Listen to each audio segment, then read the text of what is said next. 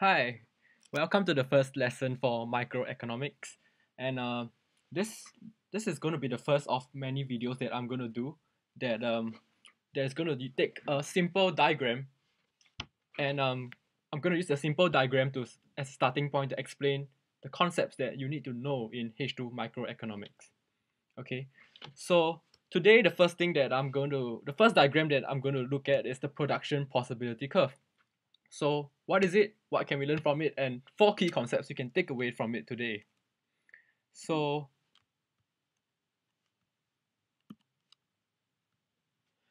now let's look at a example of a production possibility curve. It's a very simple diagram, okay? And uh, basically you have the y-axis which is corn and the x-axis which is wool or it can be any two goods really. And uh, the units are quantities of corn and quantities of wool. So what it what the production possibility diagram depicts is basically the different combination of this the different combinations of these two goods that a country can produce given its amount of resources. So what does this mean? Okay, basically if you look at this line here, any point along this line, pardon me that it, it is not very smooth, just assume that it, it is actually a smooth curve. Any point along this curve can be produced by this country or let's say in some cases a firm. And um, basically the firm can choose to produce any point on this line, okay? It can also produce any point within, under this curve, okay? Because that is within its production possibility limits. However, if it were to produce that, it will not be very efficient because it's not making full use of its available resources.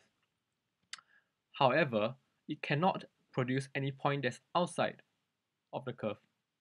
And why is that so? Well, simply because it has limited resources. Well, just, just imagine that, you know, if let's say here the firm or the country has unlimited resources, it would be able to produce unlimited amounts of corn and unlimited amounts of wool. Okay, and that that would defeat the purpose of economics. Because as you will see on the next slide, the key concept, the first key concept that we are about to learn is scarcity. Economics is the science of scarcity. Basically, we are trying to measure or we are trying to find out how can we actually use limited resources to satisfy satisfy unlimited ones. Okay, the idea that resources that we have and our in a in in a in a in a moment I'll explain what resources are. The idea that the resources that we have are unable they are unable to produce goods and services to satisfy unlimited ones.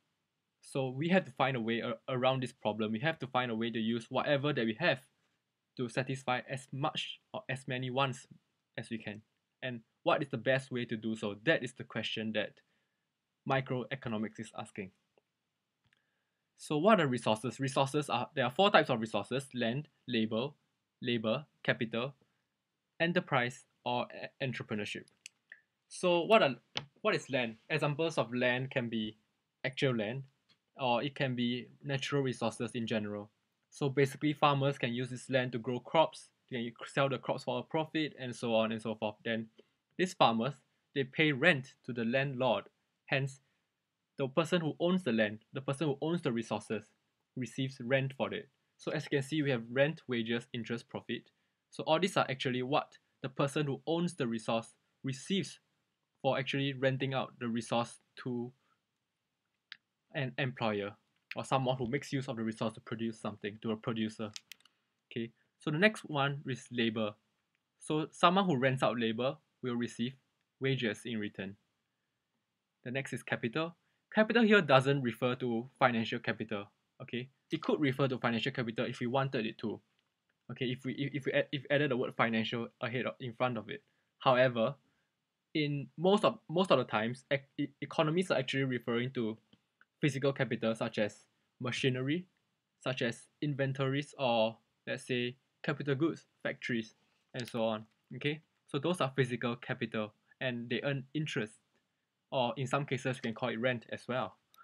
And uh, lastly, we have enterprise or entrepreneurship, which is the this person that actually sets up this company or this firm to produce something, to gather all these available resources to produce something and what he earns in return for his service to society, to himself, is profit.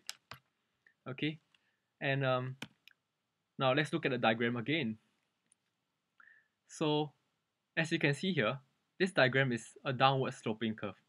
And what you can notice is actually that at each point of the curve, okay, it starts out at, with a gradient that's less steep and it proceeds on with a gradient that's steeper as we move along the x-axis, x-axis which is the amount of U that we are producing.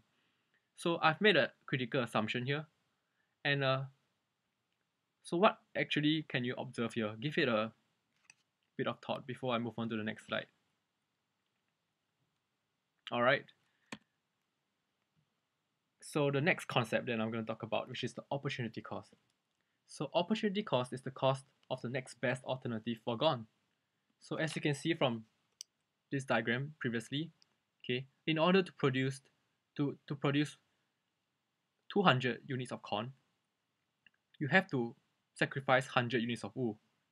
Conversely, to produce 100 units of wool, you have to sacrifice 200 units of corn. So you can say that the opportunity cost of producing 200 units of corn is actually 100 units of wool. Okay, notice I'm not talking in, terms of prices. There's no price here. Okay, and um, what else can you notice from this diagram? Which is that the assumption that, that I have made. Okay, the fact that the gradient of the curve changes as we move along the x-axis means that the opportunity cost of producing corn or wool is actually changing as you produce more corn or more wool. Now, why could that be the case? Well, simply put, there are a few reasons that could be, that could that, that could be the case. Okay, basically, as you produce more wool, you will start to employ more and more resources that were used to actually produce corn in the first place. And definitely, some of these resources are not going to be suitable. Okay, what you used to produce corn is capital goods, is machinery, is labor. It's not going to be suitable for producing wool, and hence they are not perfectly compatible resources.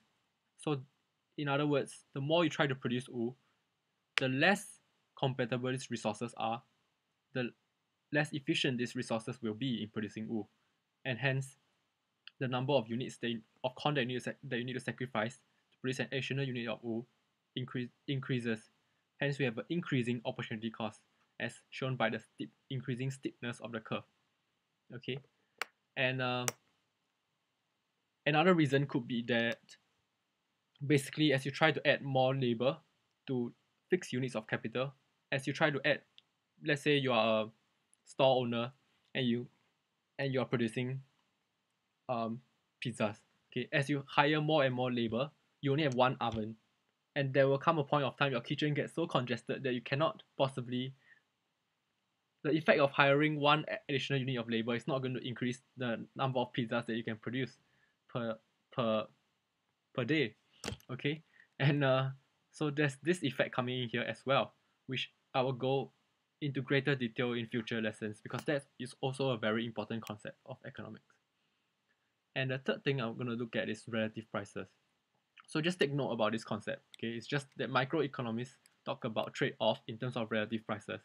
So for example the price of one Apple computer could be let's say 300 Fuji apples okay and uh, that, that that is what we are concerned about. We are not so much concerned about um we're not so much concerned about the actual price of the good, but we are more concerned about how much we are sacrificing in terms of another good when we produce something. Okay? Even though in some cases we can convert all this into a do- into a dollar value into a common currency to compare, but that is still thinking from the frame of mind where we are looking at relative prices, not absolute prices. Okay? And um now, a slightly different diagram. Angela and Betty. Okay, they Angela can produce 200 units of corn or 100 units of wool. Betty can produce 100 units of corn or 150 units of wool. Okay, so the opportunity cost of Angela um, is that the opportunity cost of her producing one unit of wool, or sorry, one, one, one unit of corn is actually 0.5 units of wool and the opportunity cost of Betty producing 1 unit of wool is 0.75 units of corn. So watch what happens when Angela and Betty agree to trade with one another at a rate of 1 is to 1. Okay, basically you can see that Betty's production possibility curve, which is this line here, and the consumption possibility curve, which is this line here, are different. Okay, normally the two are the same, but when trade is possible, the consumption possibility is expanded. Because right now, let's say Angela decides to produce 200 units of corn, okay, and Betty decides to produce 150 units of wool, okay, and so what happens is then they can trade with one another at a rate of 1 is to 1. So now Angela can consume at any point that is on this line here. Okay, and Betty can consume at any point on this line. So you can see that trade actually expands their consumption possibilities. Okay, so this is one important idea that we will look at in future lessons as well, but just bear in mind right now. Okay, so now for a quick summary. The production possibility curve tells us the different combination of goods that a firm or a country can produce. Okay, and uh, the second thing, second key concept, economics is a is a study of scarcity, of how to use limited resources to satisfy unlimited ones. Next key concept, opportunity cost is the next best opportunity is the next best alternative forgone. So in this case, in the production possibility diagrams that we'll be look, looking at, the opportunity cost of producing the good on the y-axis is the amount of good that you sacrifice on the x-axis, vice versa. And the last point is that trade can potentially make everyone better off. I say potentially because there are certain assumptions that have to be present for that to be the case, and we'll look at it in future lessons as well. So join me in the next lesson, okay? Because now we have only looked at what governs production, what are the limitations that we have basically firms are limited by their resources okay they have limited resources and but in this case we have not answered how do we decide what to produce okay and how much to produce actually? None of those things we have learned today tell us how much corn or how much wool each firm should produce. Okay so these questions are unanswered and these are actually what more the important questions in economics. You want to know how to produce how much to produce. Okay and and what what combination of goods and services do we actually want to produce. Well, that that brings in another dimension of microeconomics, which is the consumption functions, because what you want to produce depends on what consumers want, what consumers need. Okay, if consumers need one good more than another, you want to produce more of that good because you can sell it for a higher price. Okay, and so on and so forth. So we look at it later on, and uh, until then, brief economics.